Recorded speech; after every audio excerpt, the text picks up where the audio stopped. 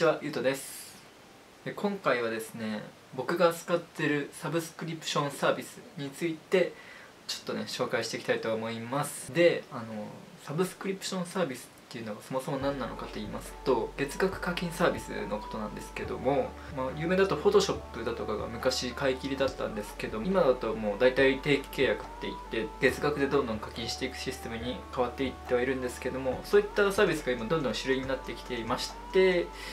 まあそうなるとね買い切りで買うよりも安く、まあ、月額ねあの買うこと買い続けることはできるんですけども、まあ、だんだんいろんな複数のサブスクが重なっていくとその分月額のその料金もどんどんどんどん高くなっていっちゃうんで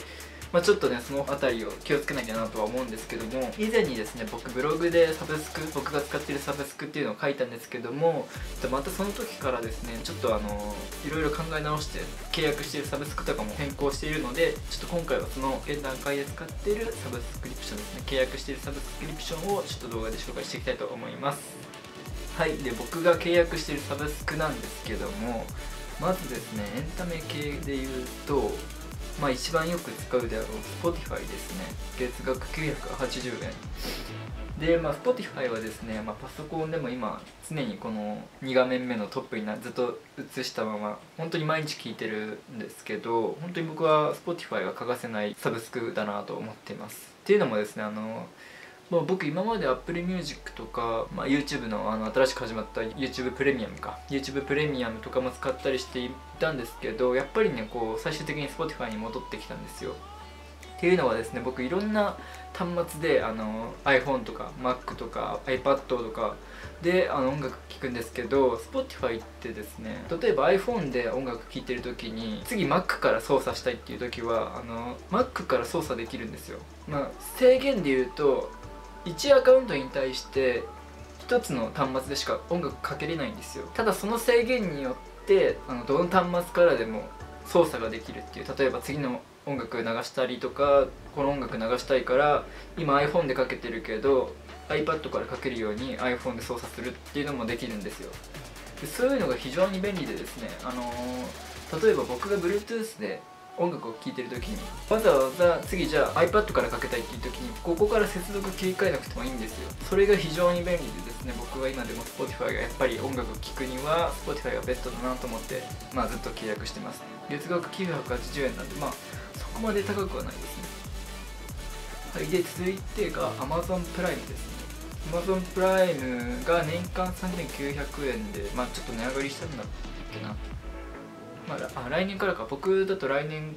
が契約更新月なんで来年から値上がりになると思うんですけども Amazon プライムです。僕ね最近楽天をメインで使うようになっていまして、まあ、ほぼほぼネット通販とかは楽天を今使ってるんですけども Amazon プライムはですねまああの Amazon 使うユーザーにとってはもちろんいいんですけども Amazon プライムとかがですね月額300円ぐらい年間3900円なんで月額300円から400円ぐらいであの Netflix みたいな動画コンテンツをですね楽しむことができるんですよ。僕それが結構メインでよく見てまして、まあ、今でもあの楽天使うようになったんですけど今でも Amazon プライムはですね、まあ、そこまで高くない料金なんで使ってます。ただ来年更新するかちょっと、まあ、微妙なところではあるんですけどもその時の状況によってですかね。で前以前ブログで紹介した時はですね Kindle Unlimited も登録してたんですけど今は Kindle Unlimited は登録やめて今楽天マガジンですね、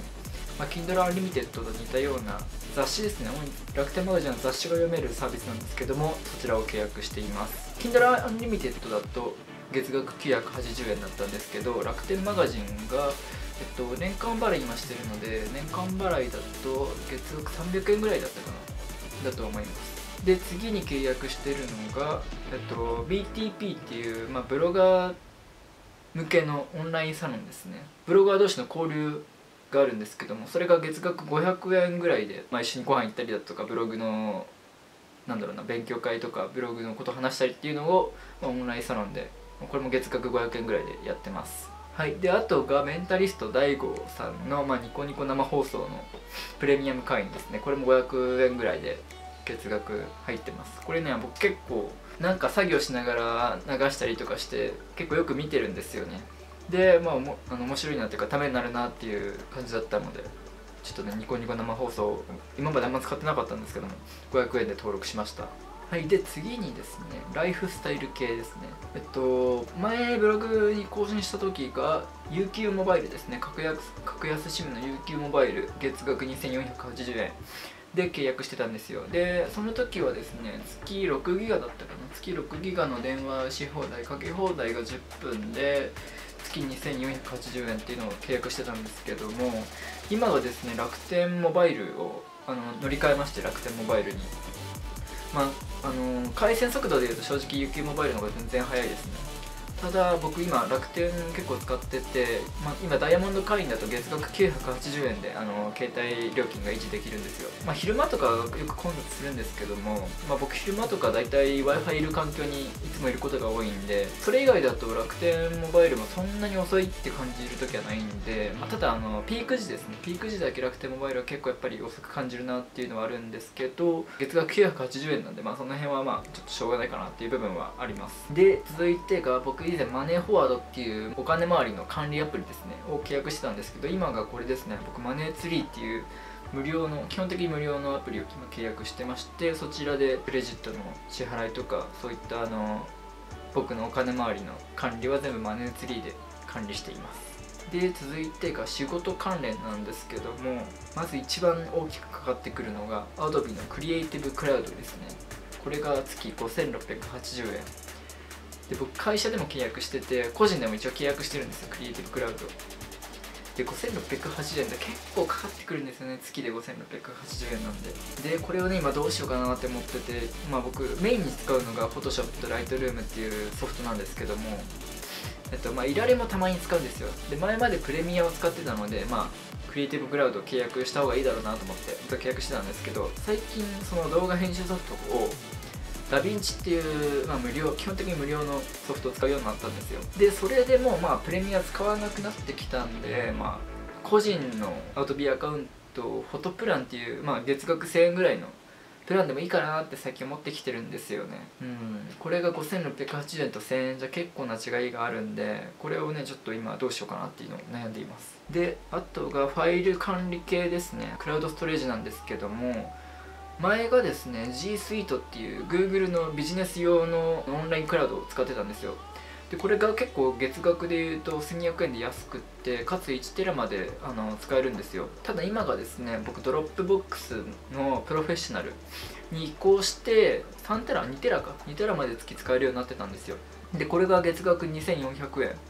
であの使えるようになってます。ただ Dropbox 最近あの料金変更しまして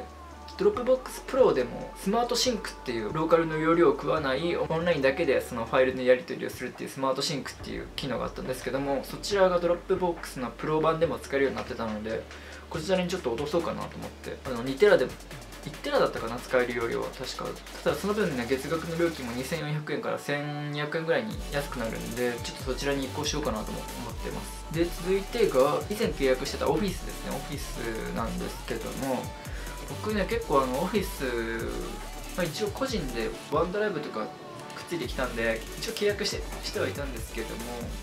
最近ねも Google スプレッドシートとかばっかでまあそっちでもうワードとか開けちゃうんで基本的に使わなくなったんで解約しましたこちらは。ワンドライブも使わなくなったんで。なんでまあオフィスは月額1274円ですかね。だったんですけどもまあ今はこちらも使ってないっていうことです。はいで続いてがワンパスワードですね。僕これ絶対欠かせないアイテムなんですけどもまあ要はパスワード管理アプリです。でこれが月額400円で僕の、まあ、クレジットとか免許証とか、あのログイン系のパスワードとかは全部このワンパスワードっていうアプリで管理されてます。こういうアプリがあるんですけども。全部この中で僕のパスワード関連を管理してるのでこれがないともう僕はログインできなくなります。であとが確定申告用にフリーっていうアプリで月額980円ですねを使ってます。はい。でこんなところですかね。僕が今契約しているのが。結構ね以前ブログ書いた時に比べてだいぶ安くなってると思うんですよ。ちょっと計算してみよう。かな月額の合計料金。あそうだ。あともう1個ありました。最近登録したエピデミックサウンドっていうまあ YouTube にこの動画とかに使われる音楽ですね。音楽が月で1600円ぐらいですかね。で、まあ、使い放題っていうサービスですね。これを最近契約しました。結構ね音楽探すって手間なんですよね。かつあの著作権とかがいろいろめんどくさいんで。そのエピデミックサウンドであれば YouTube 内であれば好きなだけ使えるんでこれ1600円なんですけども契約しました。はいでちょっとあのいくら使ってるか計算してみます。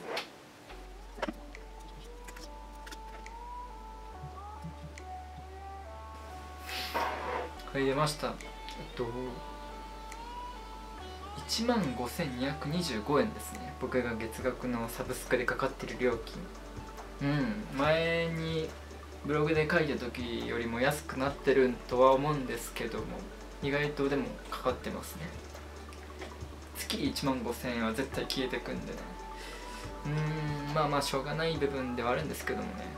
まあでも1万5000円なんで結構サービス契約してるんでまあこのぐらいはいくかなと思います。はい。まあ、これにまあ家賃とかあの光熱費とか食費とかが入ってくるんですけどもはいまあこんな感じです。はいということで僕が今契約してるですねサブスクリプションサービスの紹介でした。で皆さんもねあの何かおすすめのサブスクとかこれいいんじゃないっていうものがありましたら是非ねあのコメント欄とか Twitter で教えていただけますと嬉しいです。という感じで僕の今契約してるサブスクの紹介でした。もしよろしければあのチャンネル登録とですね評価ボタンを押していただけますと嬉しいです。ではまた次の動画でお会いしましょう。